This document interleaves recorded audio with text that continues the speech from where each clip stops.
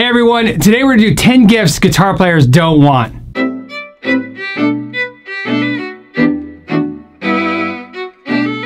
Number one, silly shirts that just have guitars on them. Just because the guitar's on a shirt doesn't mean a guitar player is gonna want it make sure to do some research. Most guitar players have their favorite band, a favorite brand, or maybe even a favorite store like the shop at. Just because it says the one with the most guitars wins, or I'd rather be playing guitar, doesn't mean that's going to appeal to every guitar player. Like I said, do your research before just buying a shirt with a guitar on it. Number dose. Gift certificates to the wrong stores or websites. Guitar players are very particular about where they like to shop and the brands they like to buy. If you get a gift certificate to the wrong place, they won't be able to utilize it. That's why sometimes you find guitar gift certificates for sale on Craigslist. Number three, guitar shaped items. Just because it's a salt and pepper shaker shaped like a guitar, or a watch, or socks, or some sandals, those are pretty cool. just because it's guitar shaped doesn't mean a guitar player is going to like it, especially since you understand that there's different types of guitars. So it might not appeal to them because it's not even close to the guitar they, they play. Number four, anything pre-packaged for the holidays. In other words, where they put a gift assortment together of strings and other items. These sometimes are not only marked up so it's not a good value, they are mismatched without thought put in them at all. Instead of buying a pre-packaged item, go ahead and get a list from your favorite guitar player of things that they actually want. Number five is guitar gizmos. In other words, like hand stretchers and travel items. A lot of these are really cool and they do apply to a lot of guitar players. However, there's a lot of odd ones out there and just because you bought one doesn't mean you brought the right one.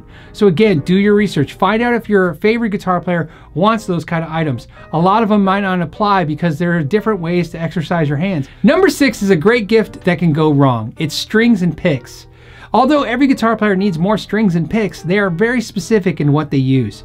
They may want a type of metal, a type of brand, a type of gauge. Same with picks. They might want a type of material, a certain thickness, and it's very hard unless you know exactly what they want to get the right thing. But the good news is this, this is a perfect opportunity to get gift certificates. Just remember for guidelines, Picks come in bags of about $5 a bag. Strings come in a uh, packages about $7 a pack. Bass strings about $15 a pack. So when you're doing gift certificates, think in those increments. Number seven is guitar straps. What's funny about this is, is one of the number one suggested thing when you go into stores. Hey, get them a nice guitar strap. However, guitar straps like shoes and belts, very personal item. In fact, it's the first thing they see even before they see the guitar. Guitar players not only are picky about the way it looks, but its comfort and the way it feels. It can cut into their arm, make a very pleasant thing a very unpleasant thing. Number eight is paying full price. Nothing a guitar player hates more than paying full price. Sometimes they've been waiting all year to get this favorite pedal, amplifier, guitar, accessory, and they're waiting for that deal.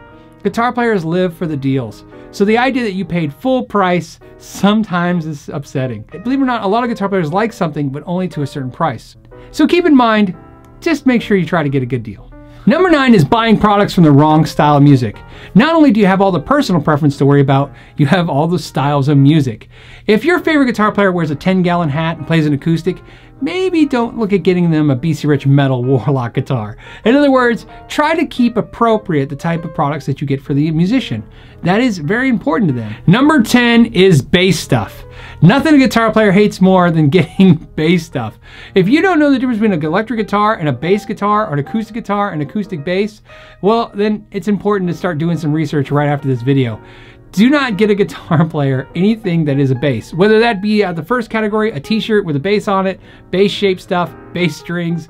Um, and if they're a bass player, don't get them guitar stuff. They'll be just as un unappreciative probably. So just keep that in mind uh, that there is a difference between a guitar and a bass.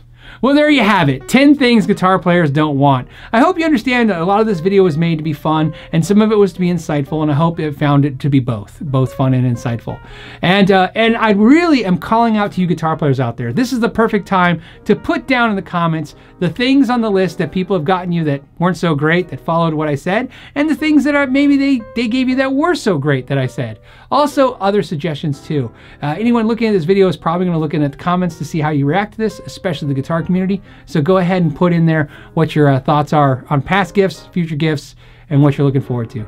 As always, I want to thank you guys for spending some time with me today. And until next time, know your gear.